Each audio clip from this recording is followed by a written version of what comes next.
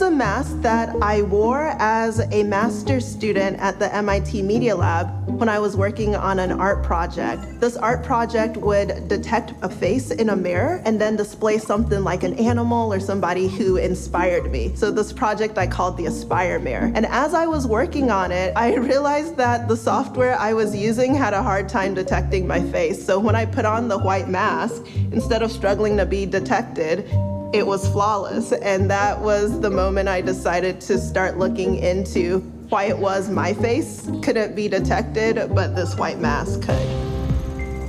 My name is Joy Buolamwini, and I'm a public interest technologist. I started the Algorithmic Justice League when I realized we were entering the age of automation overconfident and underprepared. I look at the ways in which computers learn to detect, classify, and identify faces. I wanted to build tools to help researchers and practitioners code in a more inclusive way and also think through what they were developing with the full spectrum mindset from the design, development, and deployment of their system. So for example, one of our latest projects is Gender Shades that provided quantitative data about the failure rates of facial analysis technology from some of the leading tech companies on actually classifying the gender of somebody's face. And what we found in that study was these systems work better on male faces than female faces. They also work better on lighter skin than darker skin. And if you broke it down into different subgroups, lighter males had the best performance.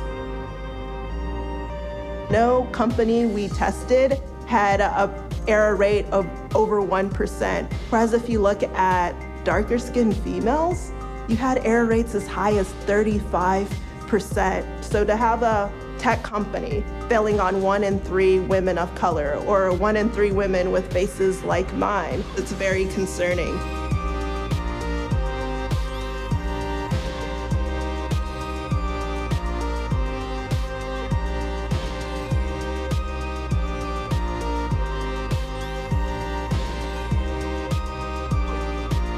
If you're looking at most of the world, you're looking at women and people of color. So if you're narrowly focusing technology to serve a very homogeneous group, and the technology is being developed by a homogeneous group, you're actually missing the majority of the world. One thing I've been really excited about with the Gender Shades research is that it's now being referenced by others to justify the need for more inclusive technology and also the need for more rigorous standards.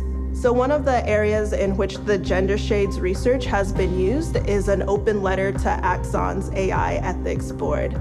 Axon is a company that provides police departments with body-worn cameras, and they're considering putting facial recognition technology on the body-worn cameras. The gender shades research was used in an open letter stipulating specific steps that would need to be taken to make sure this technology isn't abused, and also stipulating areas it shouldn't be used in at all. So there aren't easy solutions, but there are definitely practices that can be involved in the design, development, and deployment of these technologies. I cannot just be a white mask and a shield on my own. We need everybody to add your perspectives and to add your voice so we can create a world where technology works well for all of us, not just some of us, and centers social change.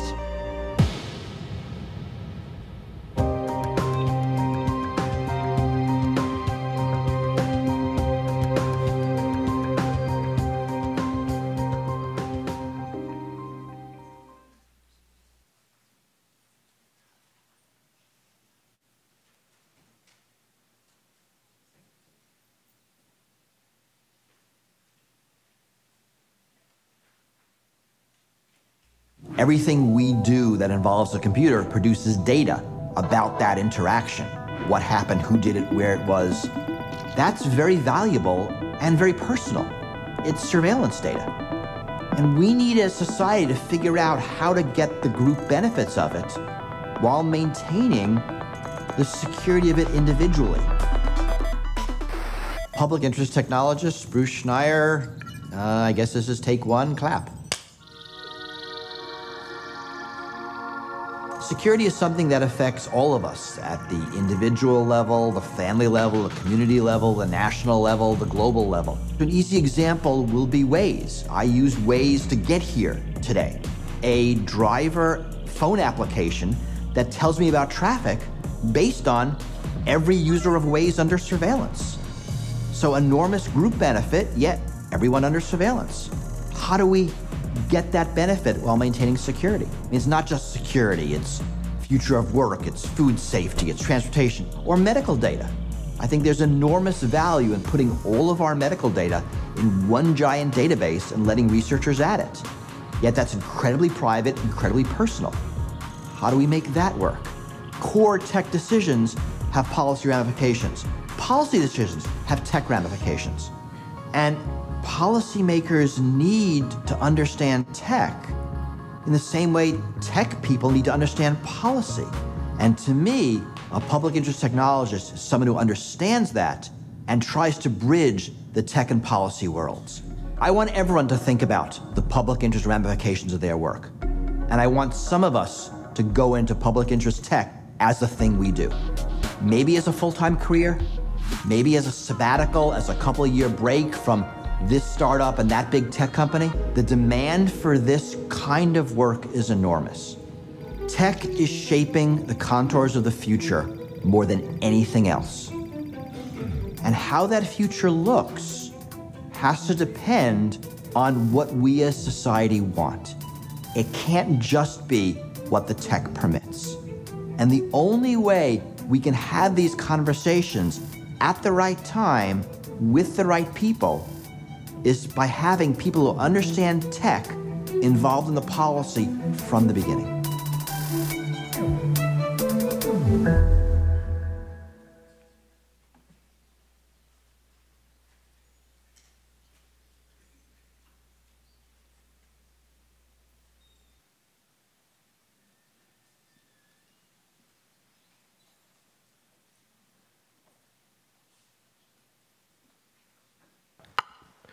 Ladies and gentlemen, please welcome Manoush Zomorodi, Commissioner Geoffrey Starks, and Commissioner Noah Phillips.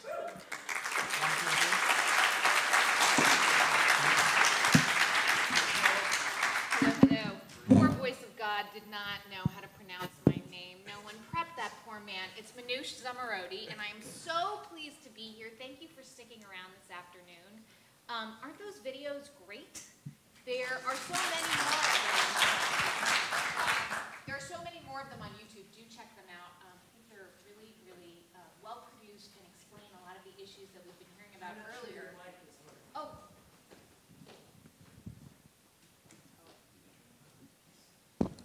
Hello. Hello. I got it. Hello. Did you hear anything I said? My children will tell you I'm a loud talker, but um, so my name uh, is Manoush Zomorodi, and I am so pleased to be here. And you clapped when I said that aren't those videos great? So I'll just say it again, and we'll clap again. Thank you. Um, so I have the weird honor of sitting with two commissioners. Um, to, but not to talk about politics. Isn't that extraordinary? I want to just preface myself, if I may, gentlemen. Um, but first, I do want to introduce FCC Commissioner Geoffrey Starks to my left here. He is a Democrat. And FTC Commissioner Noah Phillips, uh, who is a Republican. Thank you both so much for doing this. Um, Thanks for having us. Yeah, and so I think one of the reasons why the Ford Foundation wanted me to be part of this conversation uh, is because of the storytelling aspect that really has been hammered home so far. Uh, I'm not Ava DuVernay, but uh, I am known sort of in the podcast world for telling stories about technology and society and the impact that it has on regular people. Uh, so Bruce Schneier, who you saw, cryptographer, um, he was on my latest podcast, uh, Note to Self. We talk about the implications of the Internet of Things on regular people. Uh, blackouts won't just be blackouts uh, going into the future. Um, and also, uh, Ford Foundation's own Jenny Toomey is featured on next, next week's Zigzag, which is my other podcast. And um, it explains how she went from her punk rock roots here in DC to giving away all this money to make sure that we live in a democracy. So the stakes aren't that high. Um, But I want to get started talking to you two. And I think it's important to sort of lay out for, for everyone, because we are live streaming this, that it's possible some people don't understand how these agencies work, the setup of the commissioner. So I do want to make sure we touch on that. But um, again, what I want to do is really go behind the scenes into how these agencies work right now with technologists, how you would like to see them uh, work with technologists going forward, and how that might sort of change the makeup of the people um, figuring out how we live in a civil society with technology. So, uh, Commissioner Starks, let's start with you. You are the newest commissioner at the Federal Commission, uh, Communications Commission, and um, I wonder, could you share your background a little bit, how you became a commissioner? And then also, this is my like wild card question. If you had to choose one label, would you consider yourself A, a techie nerd, B, a gadget geek, or C, a policy wonk? Multiple choice. I like it. It's Yeah. been a while. Um, so I'm Geoffrey Starks. I am the newest commissioner uh, on the FCC. Um, like many things in life, I guess the way I kind of came uh, to be a commissioner, I'd start first of all uh, with my mom, uh, who was a public servant uh, back in the state of Kansas where I grew up. She was a guardian ad litem, which basically means that she was um, uh, making decisions for children who were in need of care. Um, and so the standard there is uh, what is in the best interest of the child. And so I got to see up close and personal growing up uh, how, uh, how hard those decisions were for her, how much she wrestled with what was the right thing to do. And I think that really kind of uh, influenced me and, and really moved me. And now, obviously, one of the standards that we apply at the FCC is what is the public interest standard? What is in the public interest on almost all of the things that we do? Uh, how I became a commissioner, uh, another brief uh, little story is uh, this had to have been about 10 or 11 years ago, uh, and I was getting a barber, a, a haircut back in Kansas City, uh, where I'm from, and was in a black barber shop there, and um, we had to have been talking about the Kansas City Chiefs. Uh, because for anybody who's been in an argument about sports, uh, a lot of people had opinions, but not everyone had the same facts, I found. Uh, and so we were arguing about the Kansas City Chiefs, and I, I remember uh, finish, getting up from getting my hair cut, uh, and I distinctly said, Well, let's all go home and look it up, and when I come back and get a haircut next, uh, we'll figure out who's right and who's wrong. And everyone in the barbershop kind of starts looking at me like, What is he talking about? Go home and look it up. Uh, and it became very clear to me that I was the only one in that black barbershop who had fixed internet to my then apartment.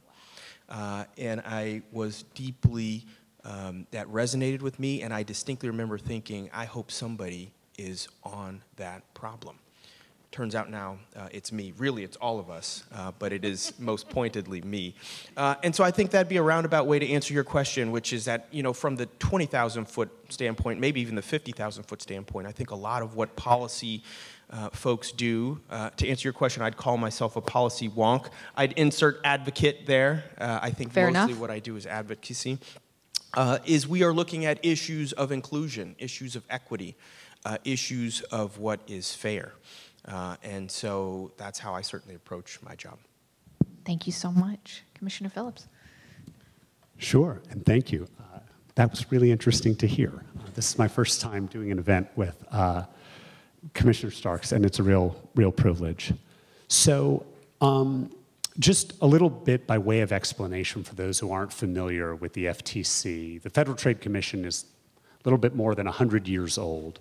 We were started in the first progressive era by President Wilson, um, and we came about uh, at a really interesting time in American history. So, about 25 years before then, Congress passed the first antitrust law, the Sherman Antitrust Act. Um, there was a lot of concern in the public about the ubiquity of these large cartels that ran the American economy the Sugar Trust and the Steel Trust, and very famously, the Standard Oil Trust. Um, so Congress passed this law. Uh, the Department of Justice was in charge of enforcing it. Um, and people had a lot of different views about how that enforcement was going, how the courts were treating it. Um, in came President Wilson and notably his advisor, Louis Brandeis, who would later become famous, was already famous, uh, for quite a number of things. Um, and they set up this independent expert agency Uh, not the first independent agency, we were the second. The first, you stole their jurisdiction. for, for, those of you history students, the Interstate Commerce Commission um, set up this agency to regulate some of the bad conduct in which corporations found themselves involved. And that was at the time uh, anti competitive conduct, and that's developed over time. Uh, and it later came to include uh, what we think of as consumer protection, but that's unfair and deceptive acts and practices, frauds, um, false advertising, things like that. Um, privacy would be a very topical example um, of the kind of work that we do protecting consumers. So, how do I come to this? Uh, as always in life, through a lot of luck. Um, but fundamentally, uh, my dad taught corporate law. And uh, I was raised on stories about how corporate America had changed, in particular, as he grew up. Um, and he was someone who came of age uh, when the nature of American capitalism was very much in flux. Uh, corporations had been left to do their thing, in particular, managers had been left to do their thing. Uh, they didn't have to deal with shareholders. Uh, they didn't have to spend a lot of time worrying about other people. They got rich, they got sleepy. Um, consumers didn't see the competition they needed, uh, and markets began to change dramatically. So he sort of, you know, had little Noah on his knee. Um, little, little, Noah, although he knows to be a Pats fan, um, was not so good with the sports, but very good with the corporates. Um, and I, uh, I went, after college, I went to work on Wall Street doing mergers and acquisitions. Uh, would later come back many years to doing merger review, which is what I do today. Um, and I went to be a lawyer in private practice. And I sort of hit on what corporations were doing with respect to antitrust, with respect to consumer protection in my career. And then I met a girl. Um, and we got married, and I came to DC, and I got into public service. I went to work on the Hill um, for a number of years. Um, and uh, after doing a lot of it from the congressional side, from the oversight side, I came to do it uh, in the executive branch. Okay, and A, techie nerd, B, gadget geek, or C, policy wonk? So obviously, with my long answer, I was trying to avoid giving C. you one. Yes, it's so C. Um, C, policy yeah, wonk. I mean, okay. So thank you for setting me up so beautifully for my second question, which is we have two lawyers on stage. We have two self-professed policy wonks. And yet, it does seem as though that famous edict by Marc Andreessen in 2011 that software was going to eat the world, it's arrived, right? So I want to understand from both of your perspectives how much of the issues that are coming across your desk and at your agencies have to do with technology. And I should also make clear, as you rightly pointed out, Commissioner, that you both speak for yourselves, not on behalf of your agencies. Um, who would like to take that first? I'm happy to take Yeah. So, one of the things I mentioned earlier in terms of the kind of laws that we enforce with respect to unfair and deceptive acts and practices and anti competitive conduct is that the concepts are old, um, they're pretty, pretty broadly applicable. And what they track roughly over time is what is going on in the American economy. What are consumers encountering? On what are firms doing. As a result, nowadays, technology is a huge part of what we do. Uh, this summer, we had a big case and settlement that we announced against Facebook, a big case and settlement that we announced against YouTube, a big case and settlement that we announced against Equifax having to do with data security and one of the worst breaches in American history. All of those implicate technology. From the big cases down to the small, I would say it is a tremendous amount of what we do. It's not the only industry we pay attention to. Pharmaceutical industry deserves a lot of attention, and they get a, lot of attention. But even there, we had a recent case involving monopolization, a company called SureScripts. They were involved in e-prescriptions, how your prescription uh, gets to where it needs to go uh, involving the doctors, the insurers, and the pharmacies. Um, that's a tech case about a non tech industry. As American industry develops to be focused on technology, technology isn't just Silicon Valley. It's not just Google and Facebook. It is ubiquitous, it is endemic in the economy. So, Not all of what we do, but a tremendous amount of what we do relates to tech. How about you, Commissioner Starks? What yeah, uh, you know, I would say that um, technology is playing an increasingly large role in what in what we do. Um, one of the quotes that I, I, I love to um, uh, kind of go by is uh, it came from The Economist, and it's that the future is already here. It's just not evenly distributed. Uh, and that really kind of seems to ring true as I am looking at kind of the tech landscape that I see. Uh, you know, issues like 5G uh, is something that I'm thinking about every day, fifth generation wireless technology, and we're talking about gigabit speeds over your cell phones. Um, and what is that going to mean? It's going to be smart manufacturing. It's going to mean um, modernizing the, um, uh, the way that you can relate to your doctor. Telemedicine, I think, is going to be a real impact. But it's also going to talk about uh, driverless cars uh, and um, um, automation. And that's going to affect a lot of people. There are a lot of people who drive trucks for a living, a lot of folks who drive cars for a living. And in fact, um, I was just reading in an Axios article this morning that that is going to disproportionately affect black and brown folks. Uh, and so I think a lot of us uh, as citizens, as Americans, and certainly something that I think about, is consistently trying to see how technology is going to better serve us right? Uh, how is technology not just going to uh, impact elections, uh, you know, but how is impact, how is it going to help us solve climate change? How is it going to help us solve the future of work?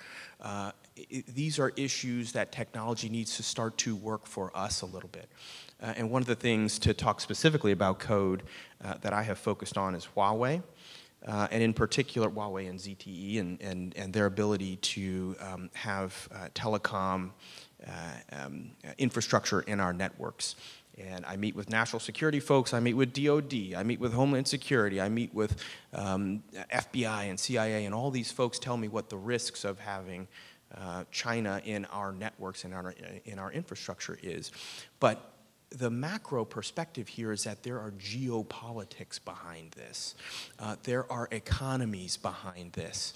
Uh, and so it, code and technology has started to swallow a, a, lot of these issues. But at their base, I think people are looking for us to figure out ways to make sure that technology helps to serve our communities and our everyday lives better. So I want to understand now how it kind of works, like before we forecast and go forward and how maybe it should work. Let's talk about if an issue comes up right now, who is advising you? Latanya Sweeney, Professor Latanya Sweeney was at the FTC and um, advising people. But Commissioner Phillips, how does it work right now? You, uh, we talked on the phone earlier and you had mentioned one particular app um, that you were looking into. Just walk us through like what the process is and then if you wouldn't mind doing the same thing. Sure. Um, so it may be helpful to explain a lot of what we do at our agency is what we tend to think about as law enforcement, meaning we're presented with an issue, we evaluate it to see whether it's licit or not, and if it's illicit, um, we go after the company and we try to seek a remedy that benefits the American consumer. So a case comes to us in a variety of different ways. Um, it can be the press calling our attention to it. Um, it can be politicians on Capitol Hill. Um, it can be consumers complaining. That's a major source of what we do. But another really critical source is the engagement that we try to have uh, with the literature, the academic literature, and that's a really important thing to stress here. The work that people in the academy do, studying how technology is working, looking for some of the places where companies are falling down and consumers are getting hurt, we pay attention to those things. And there are people, technologists at the FTC, um, who spend their time in part looking out at the world, talking to people in the academy and elsewhere, also talking to media about what is going on, what should we be looking at. So let's say we spot um, a case. Uh, the app that I mentioned to you, the InMobi case, there was a lot of writing on it in the public. Uh, this was about uh, a service uh, provided by a Singaporean company that did location tracking. So, what's the first step in an investigation? The first step is asking questions. And when you ask questions that involve technology, um, having people who are adept at technology is really important. What kind of information am I looking for? If I word the question in this subpoena, this way, Will I get the answer that I need? Or am I asking the wrong question entirely? Those kinds of questions are questions that technologists at the FTC help us deal with every day, figuring out just what questions to ask. And then, of course, there's the answers, right? We are looking at a product. You know, what is the code in the app? Uh, in that case that I mentioned, we did that. We monitored some of the traffic involving that app. Um, and then there is the okay, we figured out what the world looks like, or at least our interpretation of the facts, uh, and we're talking to the company. And they come in with explanations or excuses. Or we want something to happen. We want you to stop that practice. And they've got a reason why they can't or they shouldn't stop the practice. How do we evaluate that? At every step of the way, there's important input that technologists can give. But surely there, well, before I press you on that, let Press me turn away. to you, Commissioner Starks. How does it work for you right now? Is there a dedicated team or what's the process? Uh, there, you know, unfortunately, there is not a dedicated team that I have. Um, I have, uh, and the commissioner and I were, were comparing stats uh, yesterday. I have um, uh, three legal advisors who are all lawyers. I have a um, a special advisor who's not a lawyer but handles uh, other significant matters for me. And then I have um, uh, kind of like a staff assistant, somebody who helps me with scheduling and stuff. So it's a very tight team um, that is uh, handling a very wide uh, aperture of tech issues, telecom issues. Uh, and I have also um, uh, very pointedly struggled um, to have the right way to talk to companies in particular. Um, uh, it wouldn't be appropriate to name names, um, but on privacy, I do think there are significant um, authorities that we have, even at the FCC in particular, with uh, regard to how your cell phone service operates. Uh, and we know that a lot of privacy information is actually flowing through your phone. And so uh, I did call in uh, one large company uh, and told them how passionately I felt. Uh, that the American people need to have a better understanding of how their data is being collected and mined and monetized. Uh, and uh, through part of that conversation, they ended up bringing an engineer to see me. And I got to tell you, that engineer started talking engineering, which, you know, for those in the room that are engineers, I'm sure, uh, it, it, you know, I was flustered and frustrated with the conversation because um, uh, I believe that they know what I wanted, uh, but they were able to kind of keep crafting a statement around why they were able to handle this data a certain way on engineering principles, and it wasn't it wasn't happening the way that I was um, saying that was going to happen. Um, and I'm reminded, of course, of the the Upton Sinclair uh, quote that um, if somebody's livelihood depends on them not understanding what you are asking them, they're not going to understand it. And so, even as a policymaker, having these technologists that can help bridge some of these conversations, can understand both the policy aspects of it, the technology aspects of it, uh, is going to be critical uh, and is going to be critical to helping effectuate uh, the work that the American people need. Thank you for admitting that it made you feel flustered. I- Oh, I was angry actually, so yeah. yeah, okay. Pissed off and flustered. Um, no, I think that that's really important to um, to acknowledge that there's a that there's a knowledge gap here that's going on, and nobody feels very comfortable in it. Um, and I'm also reminded of how I got into covering some of these specifically because of a technologist, um, Chris Soghoian, who actually was spend is spending time on um, Capitol Hill thanks to Tech Congress, and I was hanging out with him talking about privacy and he's one of the few people who can really talk to journalists who are do not have backgrounds in technology which is me um, but i love the issues that come out of it the humanities issues that come out of it and he really was the person who secured my interview with senator warner who really has become very knowledgeable in a lot of these topics Can I just respond very specifically to that? So, Chris is a really great example of a technologist who is plopped into a public policy context that really helps a lot of people learn. I still remember the first time, and so I'm a Republican staffer at this point. I'm working for Senator Cornyn. Alvaro Bedoya um, is working for Senator Franken, and Alvaro invites a bunch of us to his office just to hear from Chris about what's going on and what we're hearing. Those questions and those conversations could not be more important. Chris Soghoian's ears must be burning because I, so. too have relied Yeah. on Chris Segoy. So, okay, so if there's people in the audience thinking, how do I become the legendary Chris Soghoian? Um, what do we do? How do we, um, if you're graduating right now or you're thinking, I want to be part of this PIT program? So last night there was a dinner associated with, uh, are we calling it PITUN or P-I-T-U-N, but this great project that everyone's involved in. PIT's And on. Cecilia, That doesn't work for me. Cecilia Munoz used a really important word, I thought, which is hustle. Um, one of the things that I learned as a lawyer trying to get a job on Capitol Hill is that it's very different from a lot of the traditional jobs that you look for. And it isn't immediately apparent who to talk to, what to say. And if you haven't spent any time on Capitol Hill, it can be a really alien place. Maybe you've seen it on TV and you weren't so impressed. Um, but actually, there are a lot of really important conversations going on. And if there aren't, there ought to be. Um, trying to figure out to raise your hand, trying to figure out who to speak to, how to connect, is really difficult. And that's why this project today, what you all have been working on over the past few days, is so important. Yeah, uh, and uh, I, I completely echo that. Um, you know, I think it is. Um, first of all, I don't necessarily think that it, it is only, again, apropos to this conversation, um, uh, folks on the Hill that are in need of these types of technologies.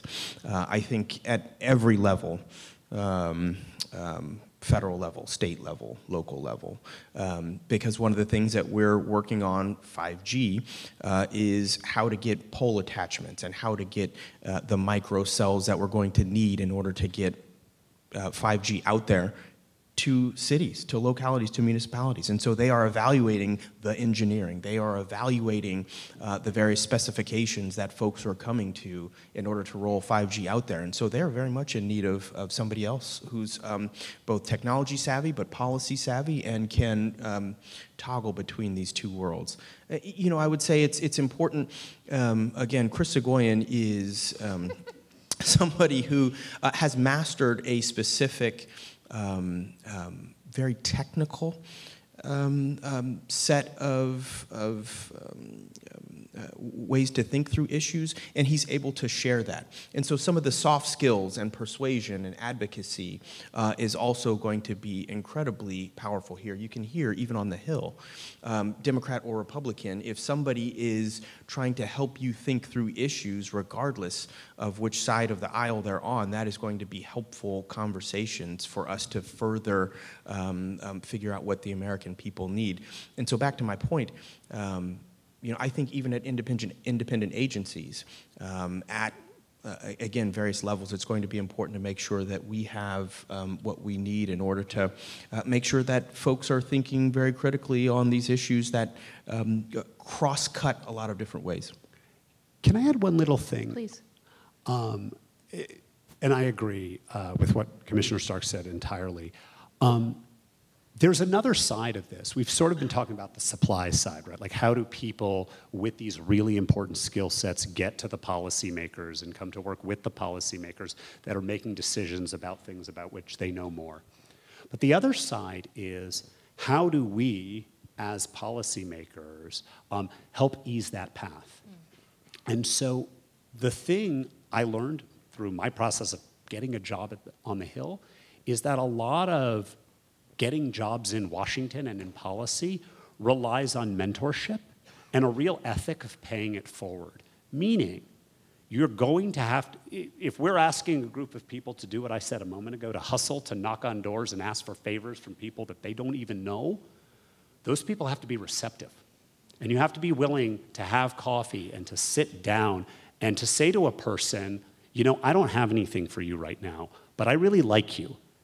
And maybe I'm aware of another job, or maybe six months from now, I'm just going to think of something, and you have the right to bug me, right? You can annoy me and take a little bit of my time so that I keep you in mind. And so there's a two sided aspect to this that I think is really And, important. and, and to riff on that as well, um, I think it is going to be imperative not only for technologists to come on the public sector, but also to be on the private sector aspect of it as well, because uh, I do think.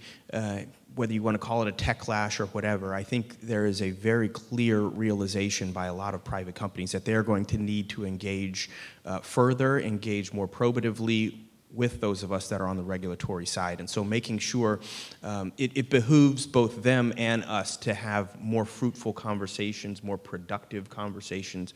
Uh, and so I think um, uh, both sides of the equation would benefit from folks that are able to um, uh, broker conversations better.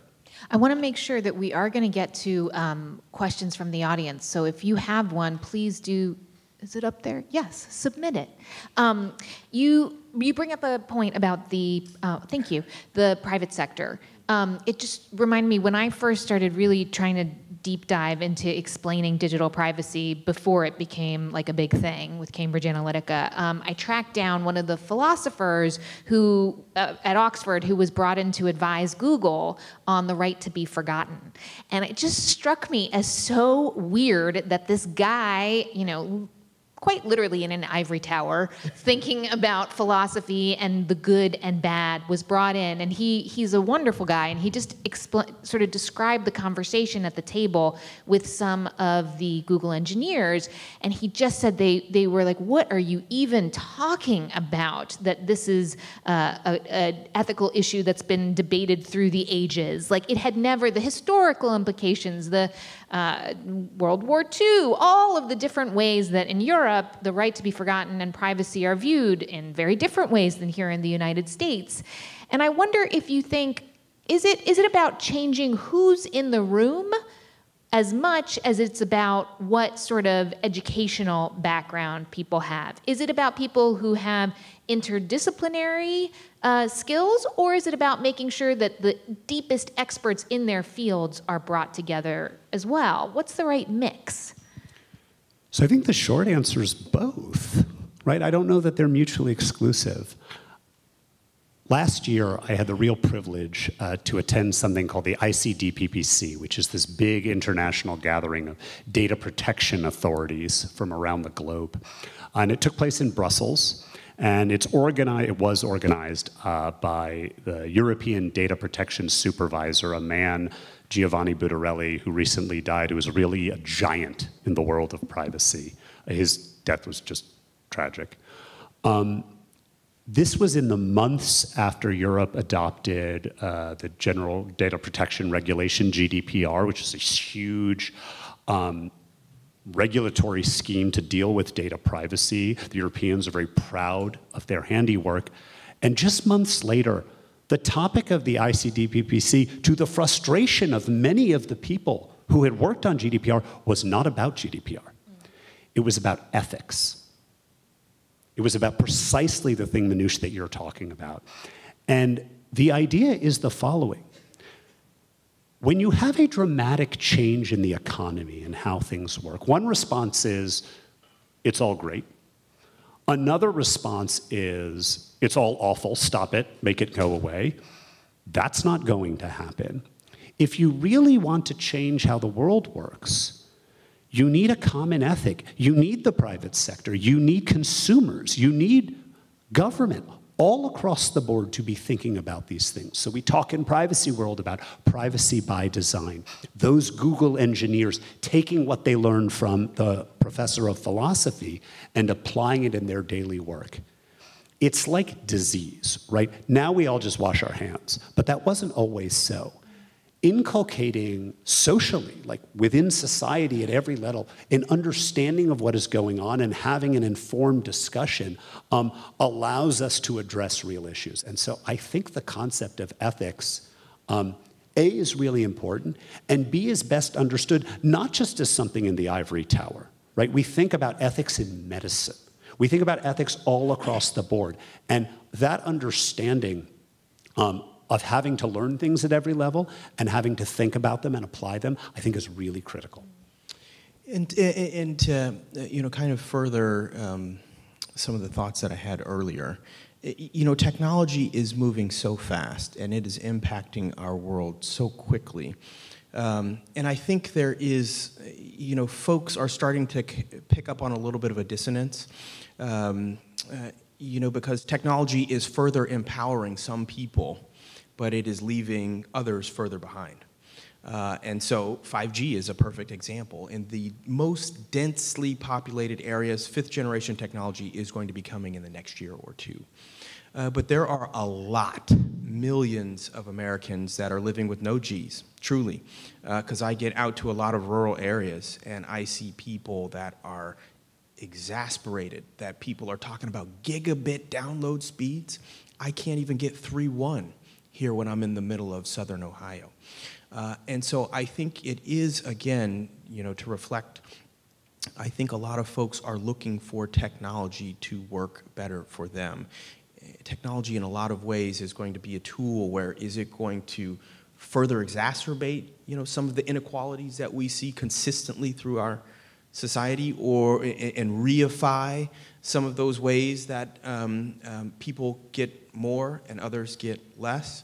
Uh, or is it going to be something that breaks down uh, a lot of those silos and cuts through uh, and further um, uh, emboldens a lot of folks?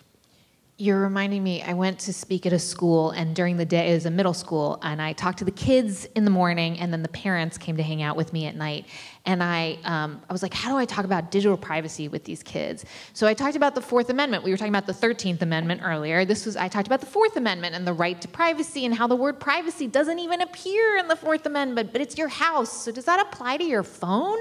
And this like sparked this huge debate with these 12 and these 13 year olds. And I don't know if it does. I think it does. I don't know. Anyway, they were all excited and they left. And then the parents came in the evening and they said You've been talking about privacy. I'm not allowed to look at my kids' text messages anymore. They say it's a Fourth Amendment right. and I was like, excellent. That's awesome. You know, if they're doing it for the right reasons. Um, all right, I want to ask this question that I definitely wanted to ask. So this was a good one. How can regulators be forward looking and proactive instead of reactive in terms of regulating emerging technologies? How do we close the gap of emerging technologies not being regulated properly?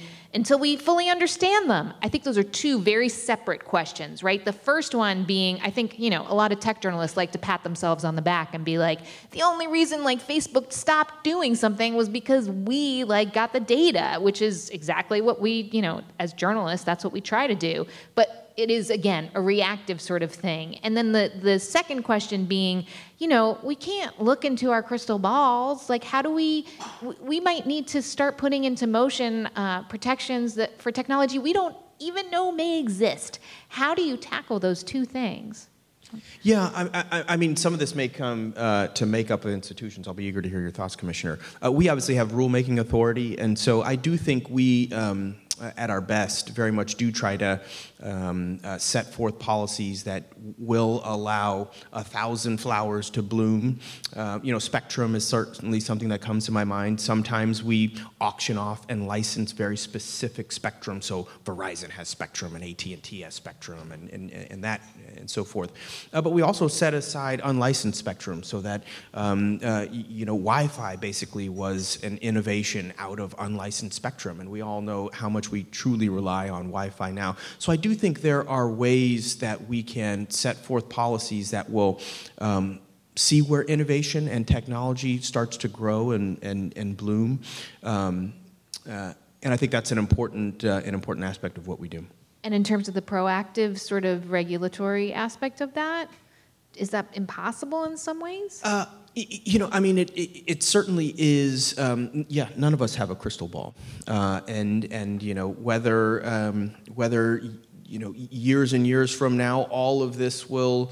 Um, um you know, the tech telecom, will you have cross-siloed vertical mergers? We obviously have seen a real um, uh, media and, and telecom merging over the last couple of years. Um, we don't know where that's going to go, where content is going to go. So I think uh, the best we can do, certainly as regulators, is make sure that we have flexible policies uh, in place that will allow, uh, to some degree, the market to dictate. Uh, and then, of course, as a former DOJ lawyer and enforcement lawyer, where there are violations, where there are um, folks who have gone outside of the bounds, um, that's where the enforcement capacity, I think, um, is always critical. Yeah. I mean, it's really important when you do regulation, or even when you do law enforcement, where you're sort of setting markers in individual um, cases that the, that the market will pick up, to recognize the limits of your own understanding. Um, it is very easy, and you see this a lot right now in a lot of the public discussion, to pick a technological development, stoke fear, and then argue for the end of it. Um, that's not the right way to approach these questions. That's why what you all are doing is so important. It is really important that when people are talking about things, they understand it. Um, you know, AI isn't the Terminator movie, right? That doesn't make it all good. It doesn't mean it's without risk. Uh, it means we need to understand what we're doing, and we need to keep in mind the limits of our understanding. And there are, of course, limits. To everyone's understanding, there are limits, and certainly that includes federal regulators. Another thing I'd mention, though, is this. Even as technology develops, uh, things bad guys do, there's a lot of consistency over time. So there are definitely areas at the margin or areas where we see kinds of conduct that couldn't, been have, couldn't have been achieved without technological development. But like pyramid schemes, fraud, oldest time. And whatever development you're talking about in the economy, um, it's going to be used right, to try to extract value unfairly from people. Uh, we had a case a couple years ago, and just pretty garden variety scammers, but it was a blockchain scam. Right? Had nothing to do in particular with blockchain, but it was capitalizing on the ubiquity of the term and the hype. Um, and it's also important that we sort of keep our minds focused on traditional bad things that happen to people and traditional ways that people suffer, like losing their money, which really, really hurts. Um, I really like this next question too, which is we've been talking about federal government, but um, what is the role of state governments in promoting public interest technology? How do federal agencies such as yours work with different levels of government to address this area? I mean, I think this is particularly interesting as we see the states um, sort of race ahead with legislation regarding the privacy issue, for example. It's like California is like a completely different country when it comes to certain stuff in some ways. How do we make sure, and presumably, like public interest technologists should be working at city, state, and federal, and that there needs to be a cross sort of section of them all talking to each other. Wonder what your thoughts are on that. First thing that came to mind is net neutrality. Um, and I see the incomparable Gigi Sohn here in, in, in the audience. Um, because, uh, you know, there are certainly instances where, you know, now net neutrality has, um, um just last week as of the DC Circuit, uh, has basically said that states are um, empowered now to figure out what they want to do on a state by state basis. Um, and so there are certainly issues, again, the, the issue that I mentioned about actually rolling out 5G is going to be something that um, is very much on a locality and municipality, and uh, each each kind of um, um, community is going to have to make the best decisions for themselves and how they're going to allow 5G to roll out. Um, some communities have said, we're all for 5G. Come on, put up your microcells as quickly as you can. Other communities have said, um, as we're seeing that the network and the edge of the network is going to get closer and closer, um, we're not so sure we're comfortable with that. And so you have had communities that have had some push and pull. Communities need to make the best decisions for themselves. Um, but to come back to what we're doing here today, uh, you know, again, I just think it is incredibly important that um, um, each you know, each, each part of this has their smartest, they're most best informed. Uh, we know that in a lot of small towns, they don't have a CTO because they're just underwhelmed. And so uh, making sure that we have folks that are being thoughtful on how technology is best for them and for their communities is going to be critical. You're reminding me, um, I'm not sure if you're familiar with the Chief Innovation Officer of San Jose, Shireen Santosham. I know her well. Oh, yeah. So she's, if you're interested in sort of an example of someone creating their own position when it comes to public interest technology, I'd really suggest you look her up. She has um, really young, incredibly bright woman who has spearheaded a public private partnership when it comes to 5G, in that she's asking the telecoms uh, companies to, to, give money essentially to poor income neighborhoods um, to help grow so, or and it gets back to in internet access which is of course one of the most fundamental issues of who has and who has not uh, that we deal with um, uh, from a telecom perspective commissioner phillips how do you see the relationship with the states so, so let me touch on two things. The first thing is the power of technology to reinvent and make better government is certainly not limited to the federal government. At the local level, at the state level, um, technology can has the capacity to improve processes across the board. That's thing number one. With respect to our relationship with the states, um, I think there are sort of two two ways in which I think about it. One is the law enforcement that I was talking about a minute ago. So I'll, I'll, I'll pick out that, that YouTube case. Uh, that was a case we did with Letitia James, the Attorney General of New York. That was uh, the feds uh, and one particular state attorney general working together uh, to change how YouTube works to protect children. We were enforcing the Children's Online Privacy Protection Act. So states and the federal government can work together and achieve really great things. Uh, really, really proud of that. Um, states can also, as you note, with respect to CCPA, the privacy bill um, or privacy law in California, um, they can legislate and they can regulate. Um, that is something that states are free to do under the Constitution, under their police powers. Um, and you know, we have the states are the great laboratories of democracy, so there can be a real benefit in diversity.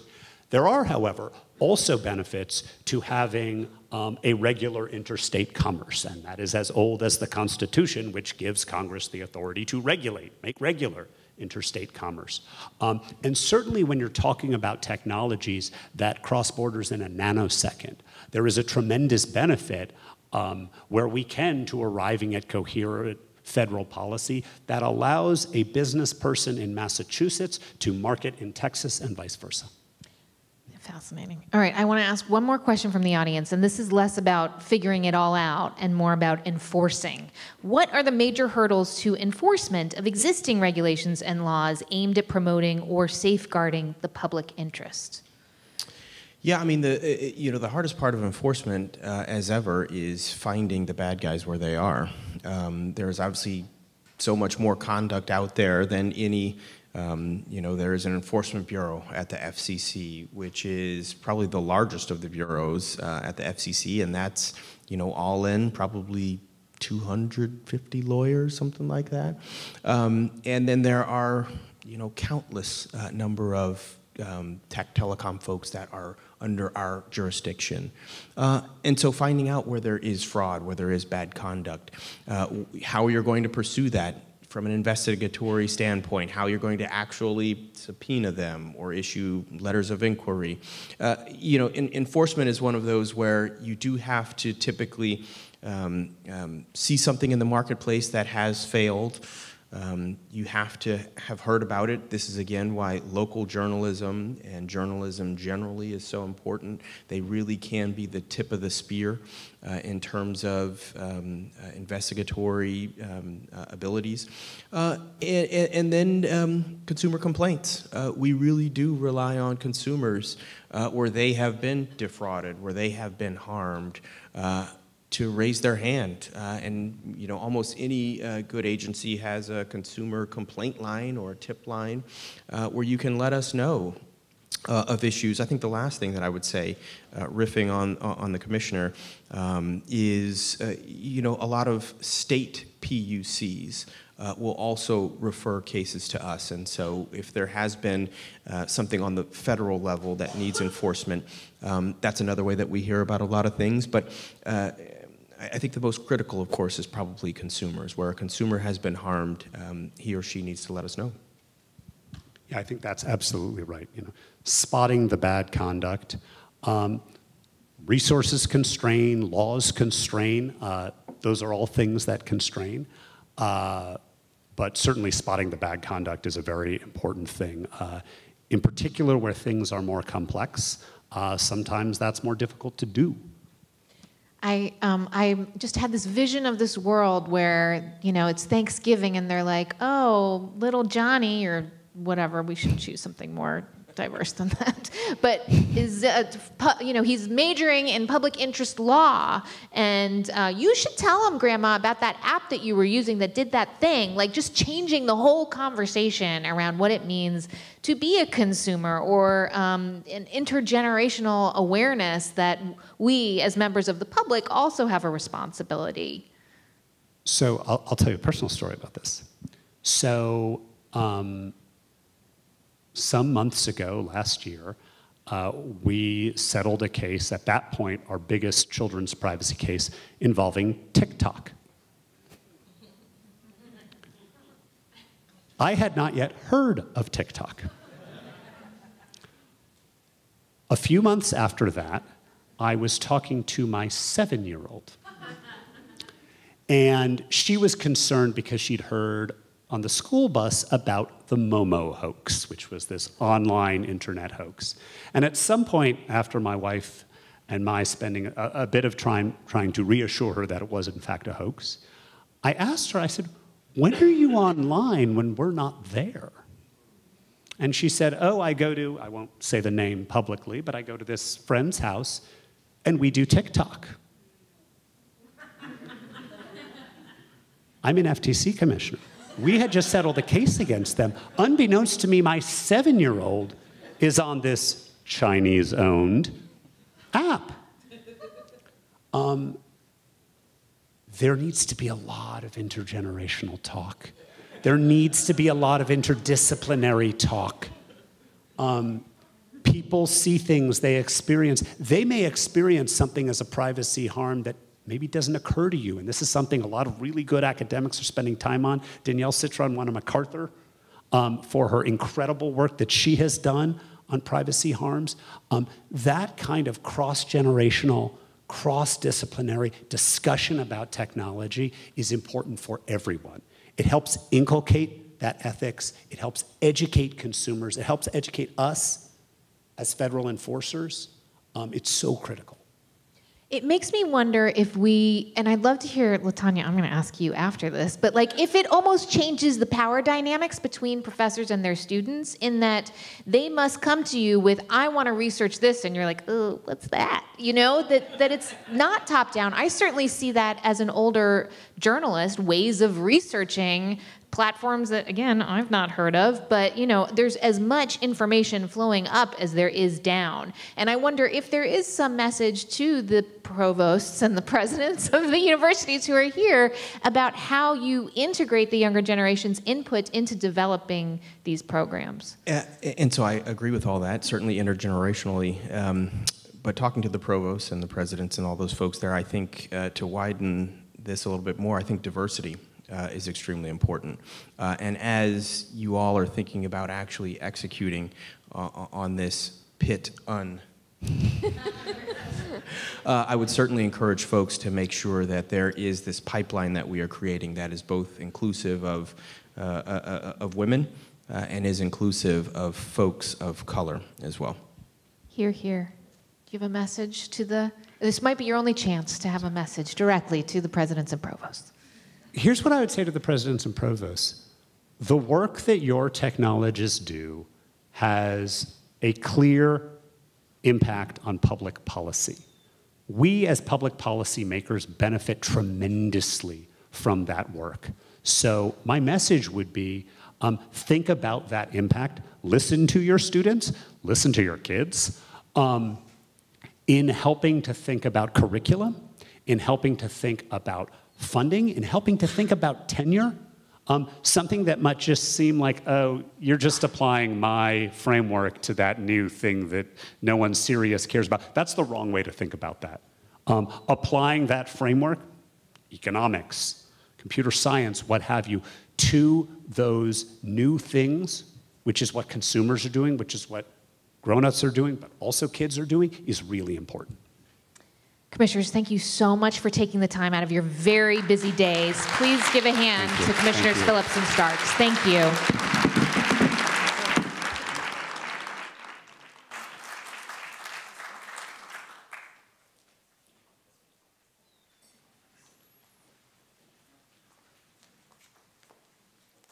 Okay, we've almost done it.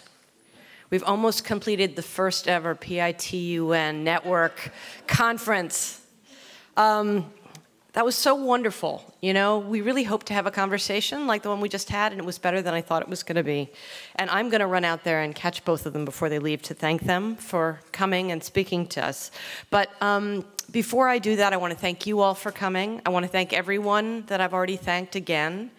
Um, and I also want to ask Andreen Soley, if she is around, to come jump up here because we've got a kind of a, a, complicated set of things that we're planning to do for the next hour. Some of us will cluster and work on something. Other ones will cluster other places and work on other things. A small cluster will be somewhere else.